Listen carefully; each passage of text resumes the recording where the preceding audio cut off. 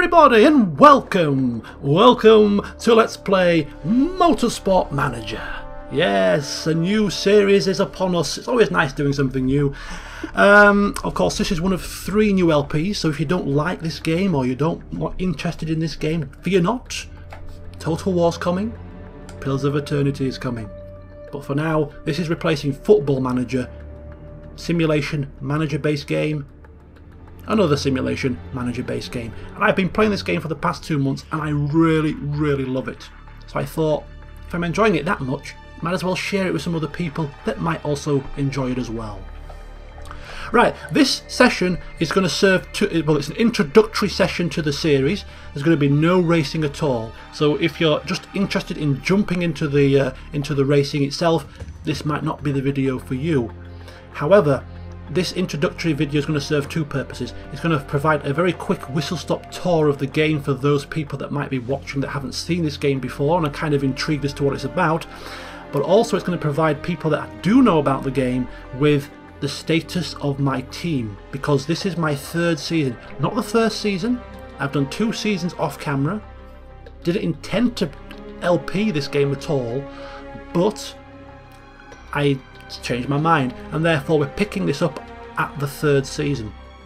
Kind of pivotal, and I'll go through the widers in a second. So this is a two a dual purpose introductory video. So bear with me. I'll try and keep it to less than 15 minutes because I'm going to be talking, talking, and talking. So uh, yeah. Right then.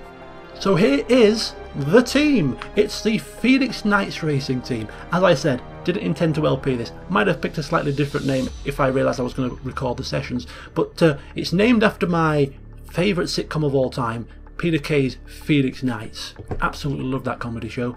And uh, the team principal is none other than Brian Potter himself.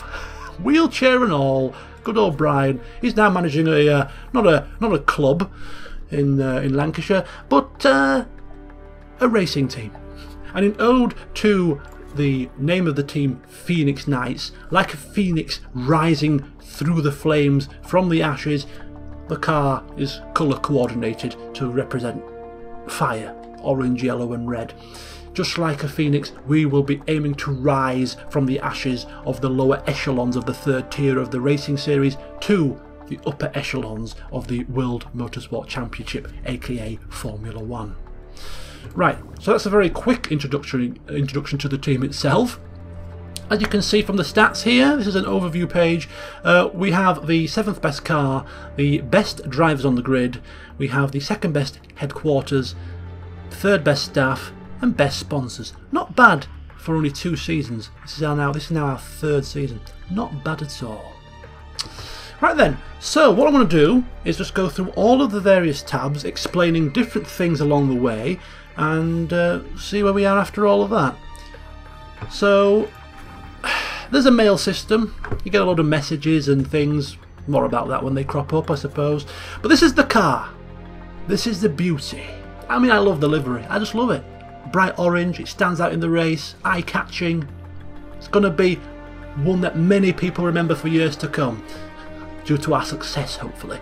So, this is the car itself. Now, when I started the season, or the series, or I had played the game for a couple of months, picked up some tips from various other LPs, and doing some reading and having a bit of a practice myself, and then I jumped into this Phoenix Knight save, and this was going to be my number one save, putting into practice everything I'd learned.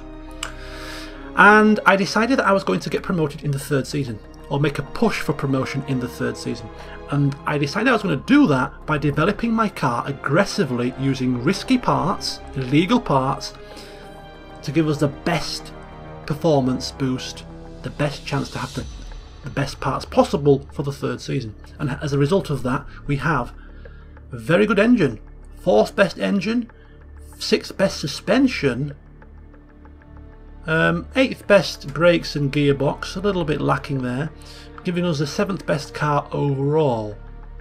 But it's going to be very close in the midfield, I think. So aggressive development in terms of spending, in terms of developing the parts, because we, we couldn't use the parts on the current seasons we were on, we were in because they were risky, they were illegal. So we was purely focusing on the future. For the car itself, you design new parts. More about that when it occurs. You fit the parts to your cars. Okay. And then you've got to improve your parts during the season. So you improve either the performance levels or the reliability, or both. You've got to improve the reliability. The car starts out with the part starts out with a you know 40 50% reliability. Reliability wears down in the race, leading to potential failures. So you've got to increase the reliability and increase the performance. And more about that when it occurs during uh, the proper um, you know the proper sessions. But as that is the premise of the car. You either design your parts for it, you fit the parts of the car, and then you develop the car in season through improving its performance and its reliability with your staff. Here is the chassis. This is paid for and developed pre-season. This doesn't change during the season unless certain um, you know little incidents crop up that you've got to take a decision on. So for a third season, this is actually not a bad car, and uh, especially given our drivers, one that we might have a real good chance of getting promotion with this season. So next tab is the headquarters tab. This is where we build our headquarters. Now various different buildings do various different things. They improve the, the, the development of your car parts, they improve your uh, driver's stats over time. There's a whole host of different things. The most important thing really is we have in the first two seasons upgraded our design centre, our factory, giving us more staff for our part developments and extra improvement slots, scouting facility so that we can scout more drivers, very useful, and a helipad which unlocks five star sponsors, more about that in a second. So there's the buildings that I have built so far. In order to bridge the gap for our weaker parts, all of these parts have been developed with no buildings present that improve your part design. To bridge the gap for these two, because our designer obviously can't design these things very well, we are going to uh, this season focus on building the telemetry center to give us um, better components for our gearbox. And after that, we are going to focus on the brakes R&D to give us great brake components. So getting the higher quality brake components will hopefully allow us to develop much better brakes and gearbox to bridge that gap, that performance gap. So that is the, the building work side of things. It's very, it's very expensive and therefore you've got to really plan for what buildings you want. Um, you may build one or two uh, a season but that's it. So there's not really much to, to talk about here. The team overview, we've seen that on the home page. Right then, so we'll move to drivers. We'll move to drivers. Um, the plan, as I said, was to get promoted in the third season. That was my, I had a, you know, the three season goal. The first aspect of that was to develop a really good car. But then the second aspect, and third aspect if you will, good staff, good drivers. Not too shabby you, as you can see. We got Sergio Valdez at the back end of the first season. And we got Iris Sundin at the end of the second season. So I'm very happy with both these. I'll take you through Iris first. I mean, look at these stats. Absolutely flipping glorious. Now, there's no way she would come to our team as a four-star driver with these stats. But when we did spy her, when we did scout her out, she had a bit of an eye problem, which reduced her stats to 3.5 star.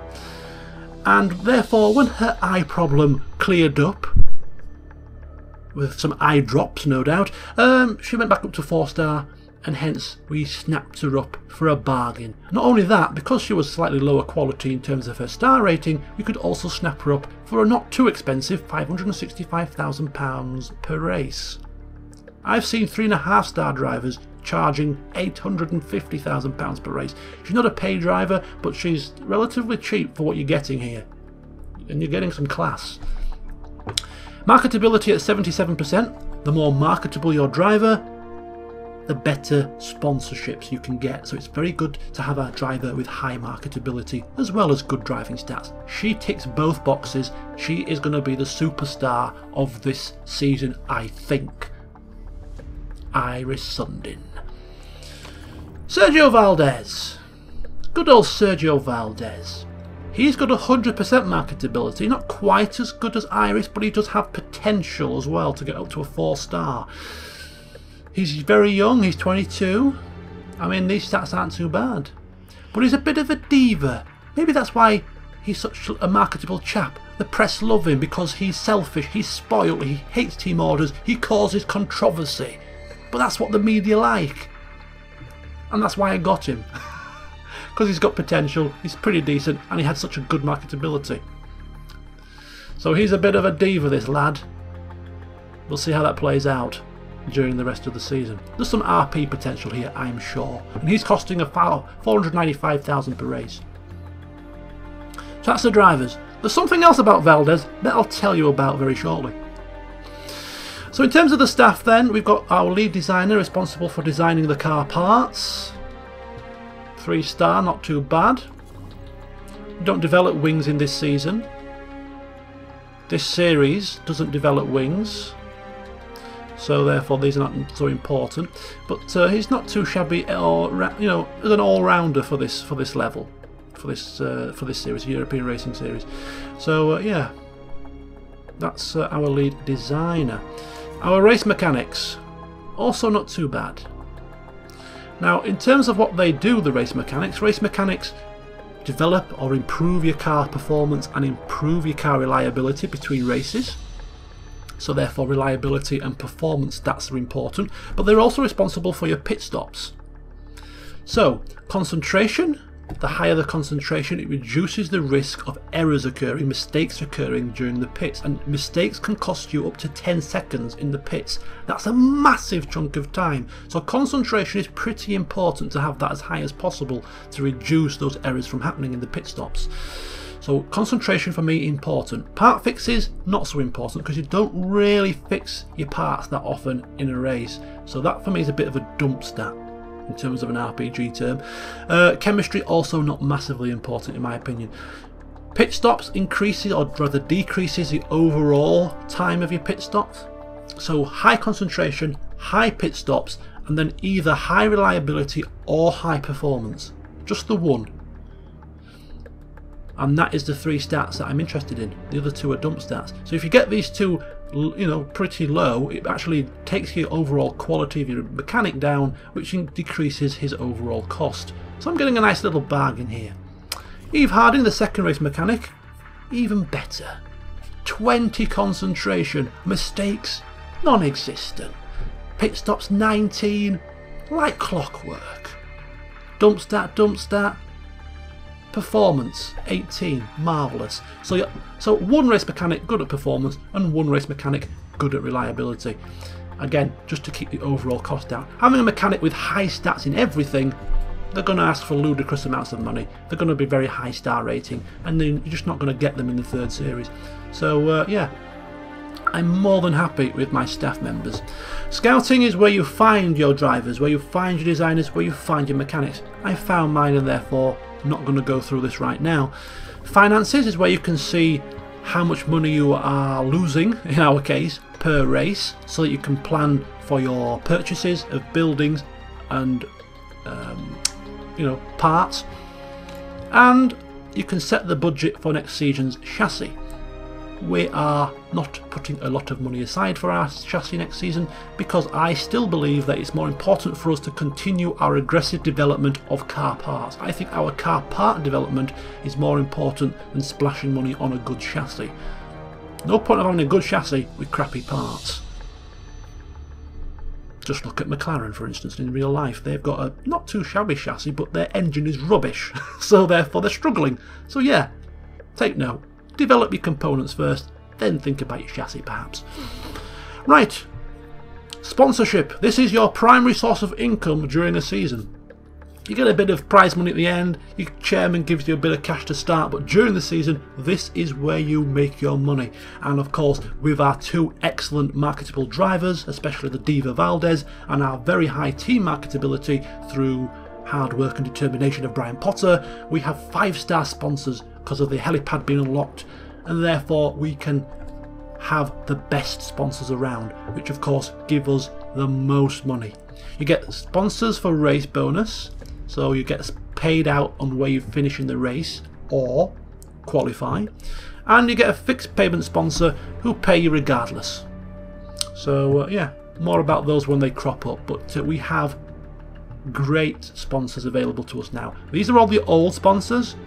We haven't yet got a five-star sponsor because I've just literally unlocked them this at the back end of last season. So I'm going to look forward to getting some uh, some high-level sponsors to help us fund our developments. Right then, so that is an overview of the team, the drivers, the staff, um, and where we've come from, and what our goal is for the season. Our goal is to get promoted. We have we have sort of level, we've lined everything up to coincide with this third season, getting the drivers just in time for the third season, developing our parts aggressively for the third season. That is the goal. Can we do it? That is the question. But before we do, dive into the game proper. Um, just a little little cheeky look at last season because um, I had the three season goal. We almost did it in two. Here's 2017. We finished second in the constructors. We finished second.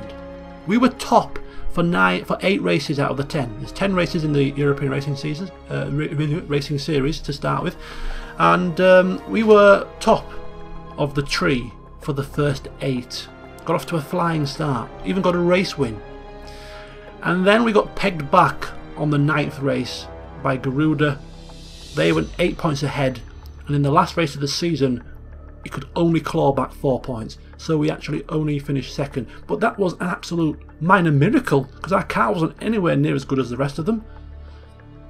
Um, and if we'd have got promoted or finished top, we'd have had a tough decision to make because we would have had to determine whether or not we wanted to go up to the next race, racing series. Um, I don't know if I've, I've, I've, explained it or not, but there is a three tier system. We start in the bottom, you go up to the second tier, which is the Asia Pacific Cup, when you finish top of the tree down here, and then the top tier is the F1 equivalent, the, here called the World Motorsport Championship. There are no um, licenses for this game, so I'm looking for the actual. Am I looking for? Oh, there you go. There. I'm looking for the actual screen here. So there's no licenses, but uh, you can tell which teams are which pretty much. So we're in the third tier at the moment. If we get promoted, we go into the Asia Pacific Super Cup, and if we get promoted from this, we go into the World Motorsport Championship. But yeah, last season, second in the constructors, so close.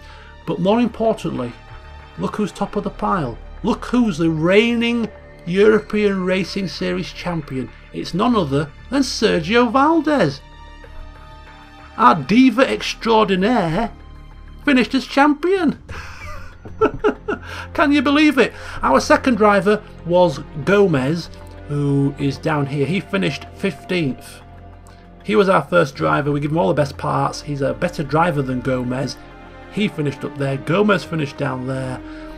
Um, yeah, so we have the current Racing Series champion driving in our team. But as you've seen with the various stats, I think Valdez is going to have a bit of competition on his hands, just from his own teammate, let alone anybody else. So it's going to be a very interesting season. Can he retain his championship? Hmm, interesting to find out. Right then, so there's one last thing to take you through in this introductory video and this might be of interest to even those of you who have played the game before because as you will know if you have to keep things spiced up um, there's a variety of different rules in, in all forms of motorsport from the safety cars to the type of tyres you use to the races in the series to a variety of you know, whether you qualify or not whether you have reverse grids there's a whole plethora of rules that are different between the series. And every season you can vote for a rule change. I think there's three votes or four. One, two, three, four. No, there's four. Four per season. So you can change four rules that are randomly generated, they're randomly picked um, per season. And what happens is all the team principals either vote for or against a rule change, or you can abstain to, to build up your voting power. So what happens is, if certain rules are passed, it changes the rules for the next season. So the even though we were still in the European Racing Series, this version of the European Racing Series is a little bit different from the previous two versions because some rules have changed. So I'm just going to take you through what rules have changed rather than specifically what rules were there from the start. So the biggest change is the fact that we're now using qualifying base grids. The original series had a reverse grid system, which means that the drivers that were at the top of the tree, they started at the back. So it was reverse of the championship standings, which provided for some very exciting mixed up races. I decided to, I say I decided, I used a lot of my voting power that I had saved up to push this one through. So we now have qualifying, and the qualifying is a short qualifying session of only 8 minutes giving us a one shot to nail that perfect lap. So that is the big change of this of this series. The second big change is that only the top six drivers now get points. In the original racing series, every driver got a point. So the top driver got 20, all the way down to the bottom driver that got 1. I've changed it to this. I said I again because I used my voting power to push this through. And the reason why I pushed these two through was for a bit of nostalgic effect really. When I started watching Formula 1, this was the point scoring system. I wanted to go back to those times just for a bit of fun, a bit of nostalgia, so I introduced qualifying and this old school F1 top 6 point scoring system. Now, this is a double-edged sword because I would be nearly 95% confident that if we were using the old rule system of reverse grids and everyone gets a point, we get promoted this season through the use of different, you know, through the use of our strategy and things. We get promoted, nearly 100% sure. But this qualifying grids and points for the top six rewards the higher teams because they can qualify ahead of the others, get clear track, and zoom off into the distance. We're not the best team on the grid. And therefore, when the best cars got stuck in traffic in the reverse grids, that was when we picked up decent points and why we finished so high in the championship. This season, it's going to be a different kettle of fish. And uh, yeah, if we're not going to be, if we're not quick enough compared to the top teams, we're going to struggle to get past them. So this could be a double-edged rule change. Picked it for nostalgia and a bit of fun, but it's going to make getting promoted a little bit more tricky. So they're the big rule changes for this series. There is another couple, which are not quite so big. There's an added track of Dubai, European Racing Series, go figure. And we now have three dry weather tyre compounds rather than two for a bit of strategic difference. But other than that, every other rule is as it was when the series started, so you should, if you've played the game before, be used to the other rules. So that is it. That is the introductory video done. The Phoenix Knights racing team is ready to rock and roll and push for promotion, but can they do it? Ruiz Motorsport Zampelli Engineering are two teams that have come down over the past couple of seasons from the Asia Pacific Super Cup, so they are a class above everybody else. Not only that, but Firebird and Silver are pretty decent teams too. So Phoenix Knights, down in lowly 7th place, are going to have a tough time, but can our drivers, who are the best on the grid of course, the, the current champion and the magnificent Sundin, can they rag this car around the track to make up for that difference? find out in the next session as we go to the Black Sea for the first race of the season. And for those of you that have played this game before, will know it is an absolute crapshoot with cars blowing up left, right, and centre. So until the next session, in a couple of days' time, when we will start the game proper, see you soon.